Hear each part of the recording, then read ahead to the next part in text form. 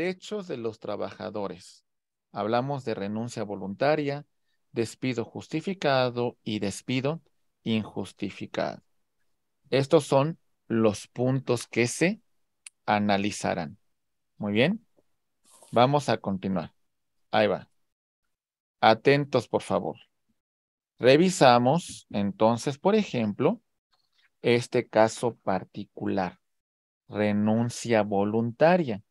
Vamos a hacer un ejercicio, si les parece bien, compañeros. Vamos a verificar que le vamos a pagar al trabajador la parte proporcional del aguinaldo, ¿sale?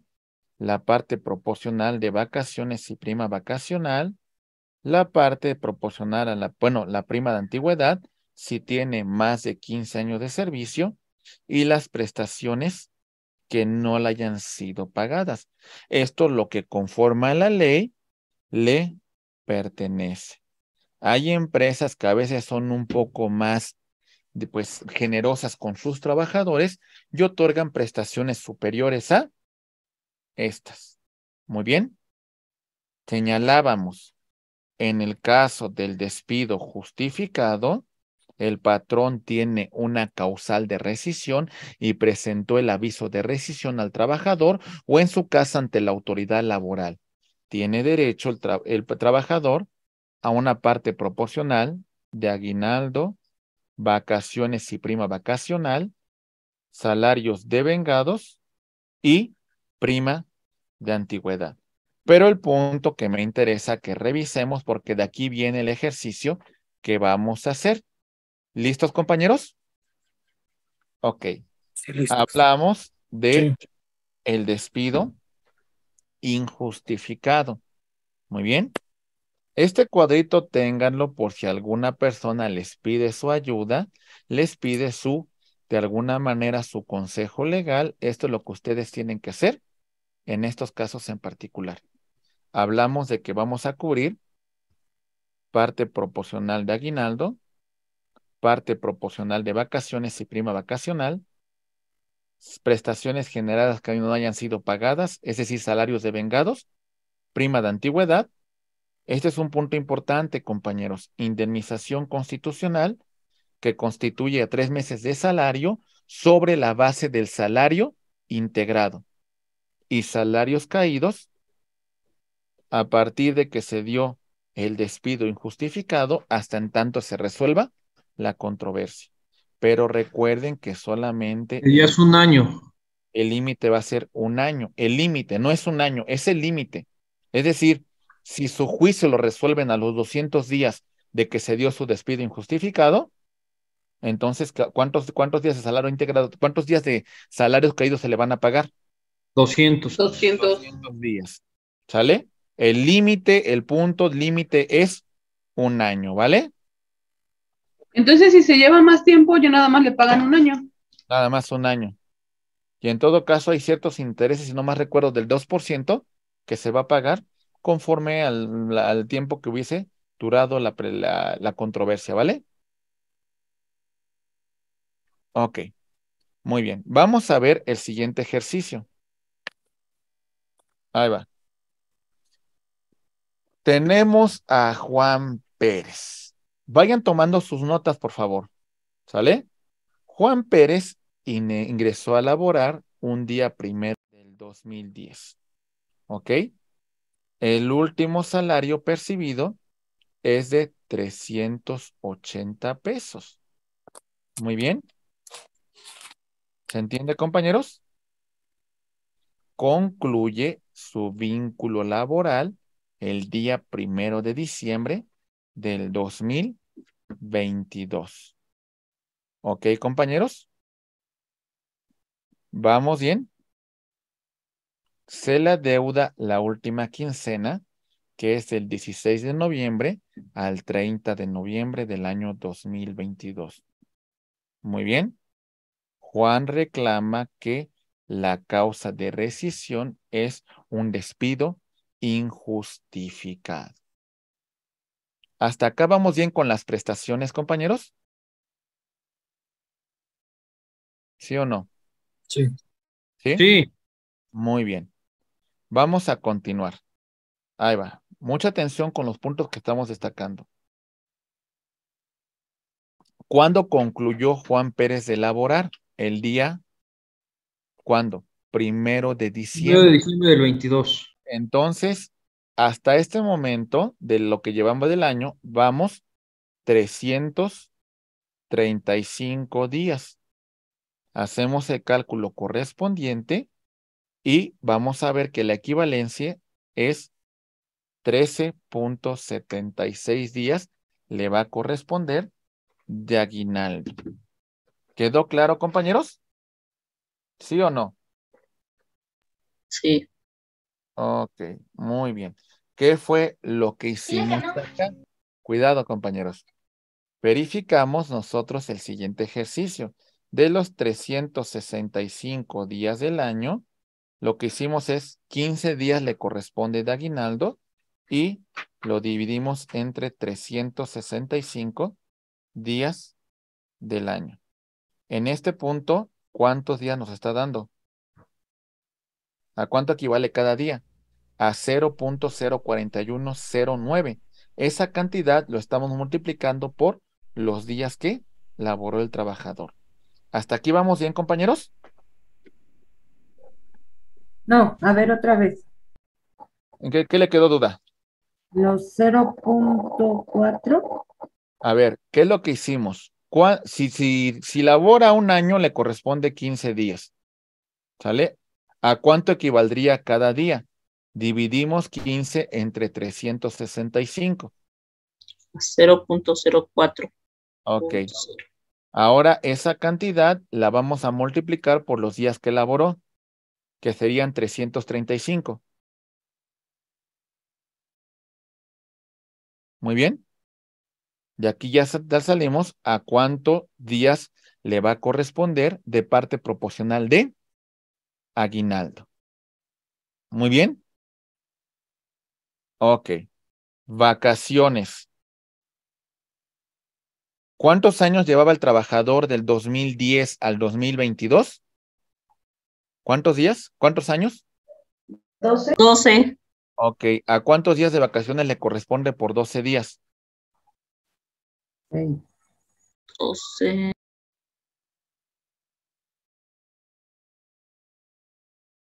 ¿A cuántos? 16 días. Por 12, o entonces tenía 12 años y le correspondía entonces 16 días de vacaciones. Sí. Muy bien. Como tal, si se fijan, entró el primero de enero. Todavía no llegaba a este momento de que recibiera vacaciones. Por eso lo que va a hacer es recibir una parte proporcional, que en este caso hacemos la misma regla que hicimos con antelación. Serían sobre ese factor, multiplicamos el factor por los 335 días y aquí vemos a cuántos días de vacaciones, a, la parte proporcional de vacaciones que vamos a pagar. ¿Sí lo entendimos o no, compañeros? ¿Sí o no?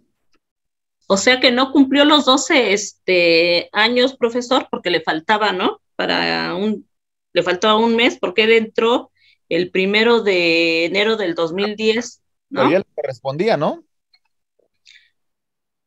O sea, sí le, ya le correspondía, pero concluyó su vínculo laboral el primero de diciembre. Entonces, de, le faltaba un mes para que fueran los 12 años, ¿no? Mm, Pero, de- a ver, vamos a poner, vamos a regresar a la tabla que usted ya conoce sobre el tema de las vacaciones. Vámonos. Eh, Vamos a suponer que no tiene los 12 años. ¿A cuánto le corresponde si tiene 11 años? ¿A cuánto? 16 días. Igual, ¿verdad? Sí, también seis días. 16 días, ¿verdad? Pero en este momento todavía no cumplía el año para que tuviera derecho a la prestación completa de las vacaciones. Por eso sacamos el proporcional. ¿Lo entendemos, sí o no? Ah, Ok, sí, sí, sí, ya. ¿Ya le quedó Sí, claro? profe. Ya, gracias.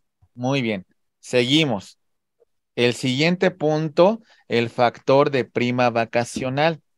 ¿Sale? ¿Cómo sacamos ese factor? Tenemos los 14.68 tre- tre- 305 días por el punto 25. Y tenemos entonces que el factor de prima de antiguo, de vacacional le va a corresponder a 3.6707. ¿Lo entendimos o no, compañeros? Sí, profe. ¿Sí? Muy bien. Ok, seguimos. Ahí va.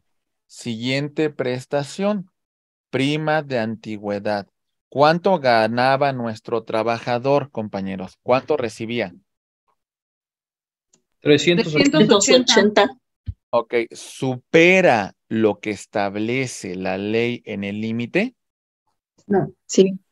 Sí, No, No lo supera, ¿sí o no? ¿A cuánto, a cuánto equivale el salario? 12 años. No, ¿a cuánto equivale el salario mínimo? 300. Ah, 380. Sean muy puntuales. ¿A cuánto equivale el salario mínimo del 2022, compañeros? Y Ya lo- 172. 172, 87, No rebasa. 172 87 82. por Por 2, 345, 74. 5.74. Ok, entonces, como vemos, sí rebasa el trabajador el monto, ¿verdad? Porque gana 380.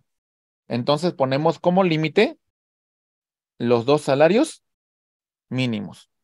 345.74. ¿Sí lo entendimos o no? ¿Sí o no? Compañeros, Sí. Sí, profesor. salarios de vengados. ¿Qué se le debe al trabajador? La segunda quincena de noviembre. Ok, ok, la segunda quincena de noviembre. Hacemos el cálculo correspondiente y vemos que le adeudamos 5,700 pesos. ¿Muy bien? ¿Vamos bien? Ok, Sí. ahora vamos a calcular su salario integrado de 90 días. Y ahorita regresamos. ¿Muy bien? ¿Listos para hacer el cálculo? Sí. Ok, muy bien. Ahí va. Son 15 días de aguinaldo, le corresponden 16 días de vacaciones, pero solamente va a servir para sacar el factor de integración de 4 días. 15 más 4 nos da 19 días. 19 se lo suma a 365 días del año, tenemos un total de 384 días. ¿Sale? 384 lo divido entre 365, nos da el factor de integración. Ese factor de integración de 1.05205 lo voy a multiplicar por los 380 de salario base y ya tenemos el salario integrado de 399.779 pesos.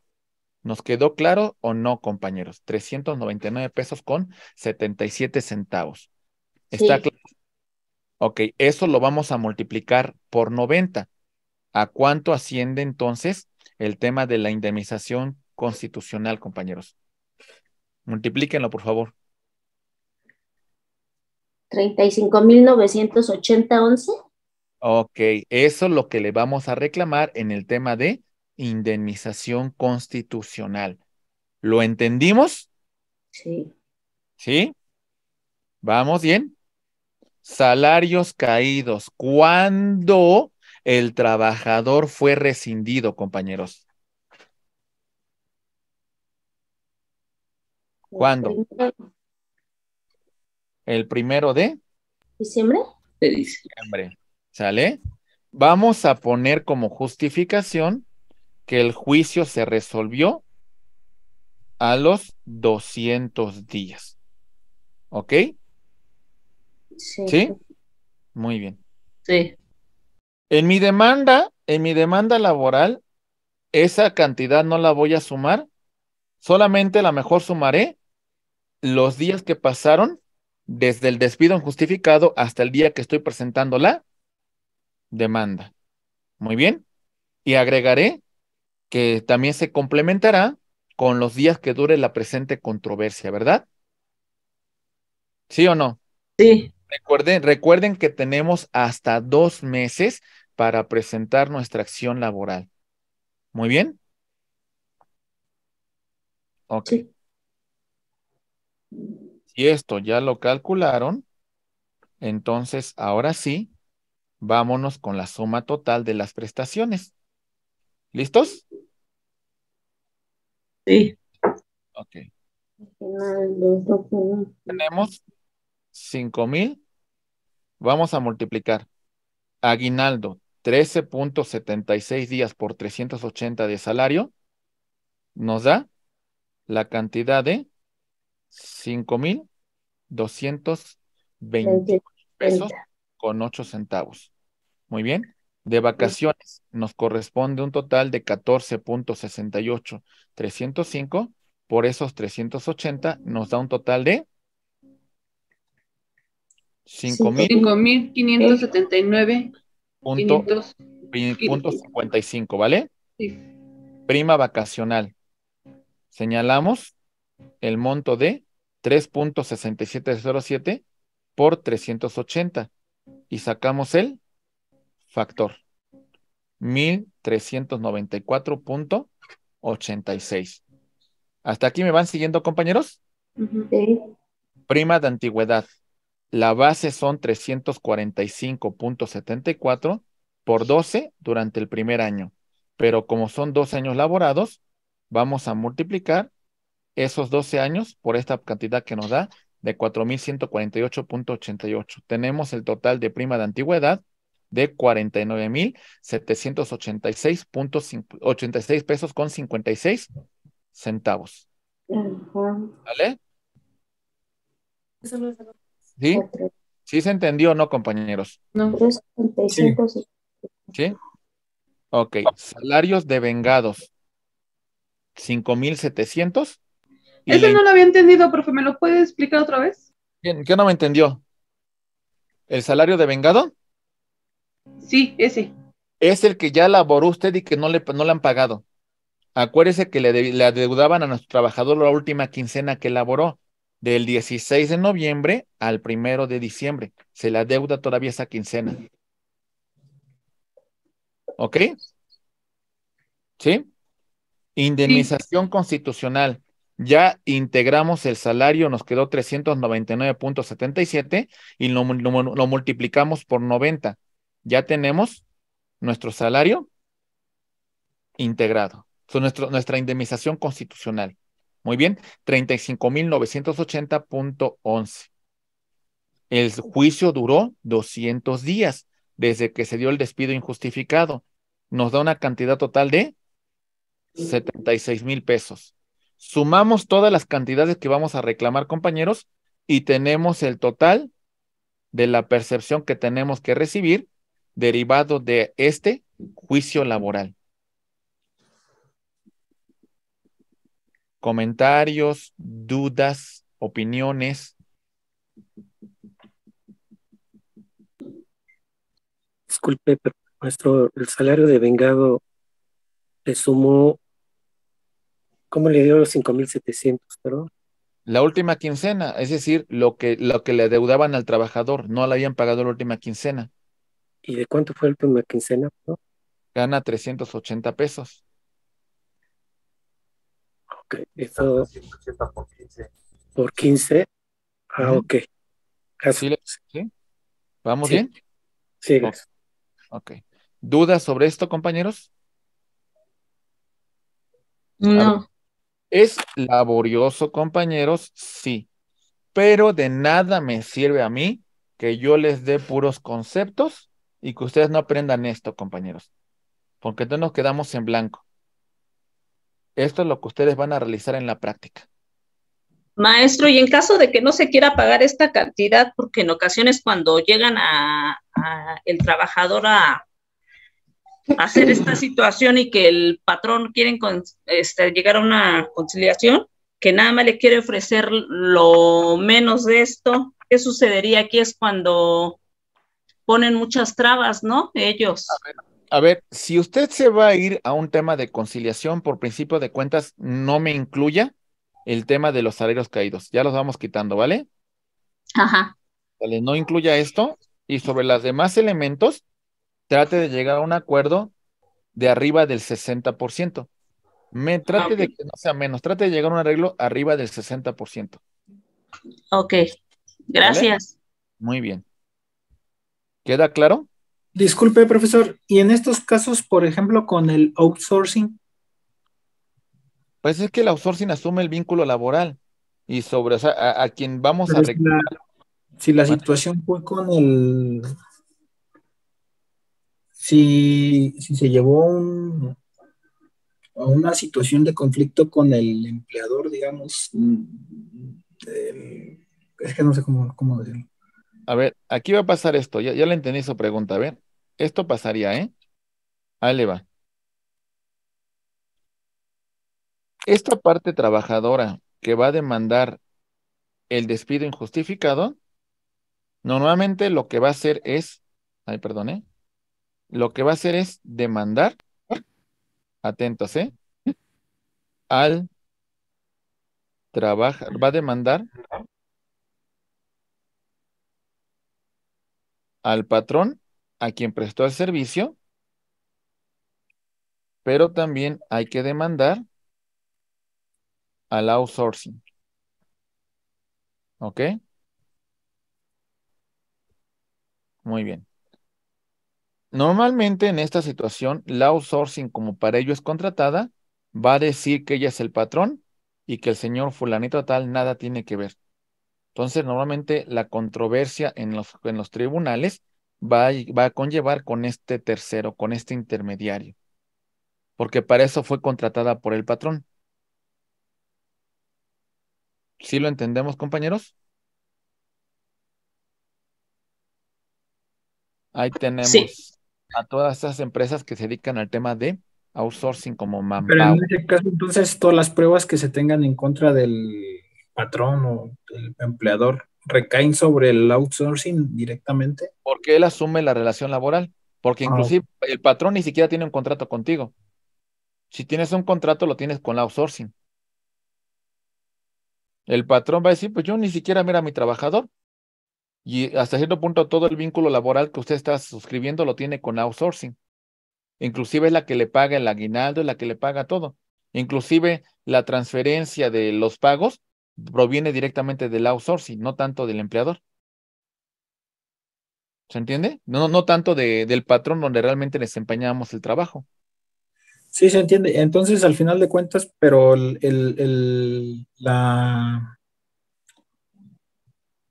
la resolución que se dé a favor- favoritaria, en este caso, no, no, no afecta, no, no tiene ningún afecto que o ninguna implicación que el outsourcing este, tome el- la batuta como el...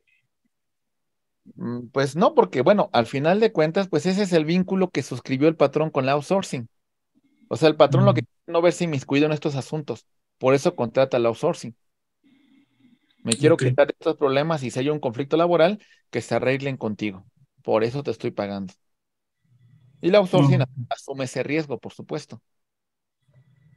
Ok, ¿Sale? ya, ya, gracias. Muy bien. ¿Listos, compañeros? ¿Quedó claro? Sí. Muy bien.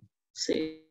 Bueno, entonces, sin mayor preámbulo, vamos a iniciar una tercera unidad. Bueno, no una tercera, una